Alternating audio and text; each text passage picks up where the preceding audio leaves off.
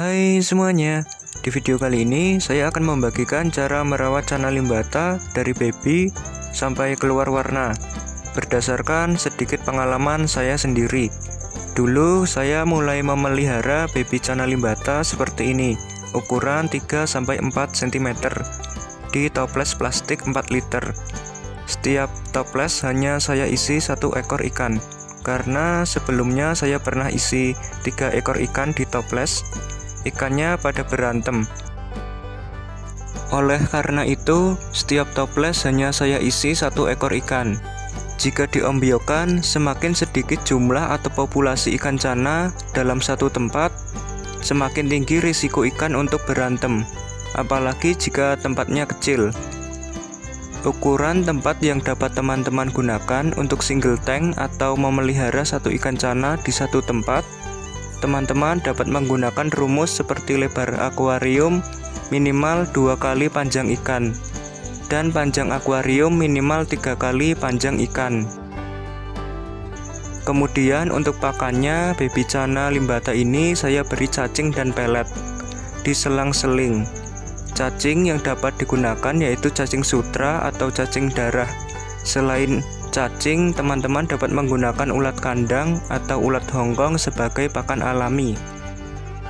Kemudian untuk peletnya dapat menggunakan pelet PF500 atau pelet ikan cupang karena pelet tersebut memiliki ukuran yang pas untuk bukaan mulut baby cana 3-4 cm.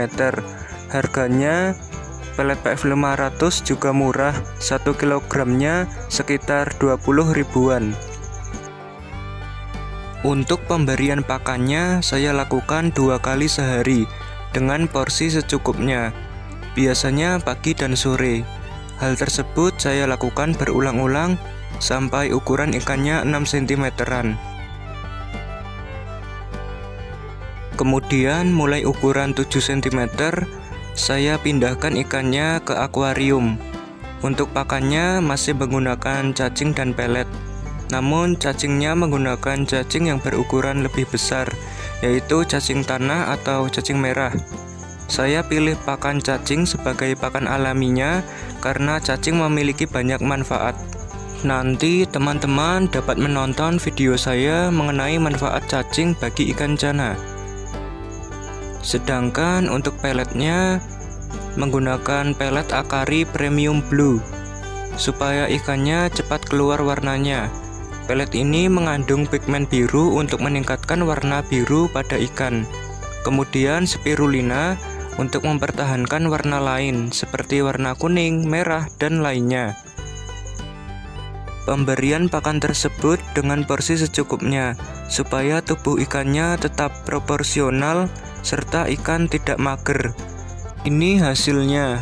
Setelah saya beri pelet Akari Premium Blue dari ukuran 7 cm, sampai sekarang 8 cm-an warnanya sudah keluar. Warna pada siripnya lumayan pekat. Selain menggunakan pelet Akari Premium Blue, teman-teman dapat menggunakan pelet lainnya yang mengandung pigmen biru untuk cana limbata supaya keluar warnanya. Kemudian setting tanknya saya menggunakan pasir malang merah yang halus Tujuannya supaya ketika ikannya gesek-gesek tidak luka. Backgroundnya saya menggunakan plastik resek warna putih, benar-benar low budget ya. Untuk masalah ganti air, saya tidak memberi patokan waktu, tapi saya mengganti air secara keseluruhan apabila airnya sudah mulai terlihat keruh dan banyak kotoran di dasar akuarium. Semakin sedikitnya volume air, tentunya semakin mudah terlihat kotor, sehingga harus lebih sering untuk ganti air. Saya rasa cukup sekian video pada kali ini. Terima kasih banyak untuk teman-teman yang sudah menonton. Semoga video ini bermanfaat. Apabila ada pertanyaan, saran, atau kritik, sampaikan di kolom komentar ya. Sampai jumpa teman-teman, tetap semangat dan semoga sehat selalu.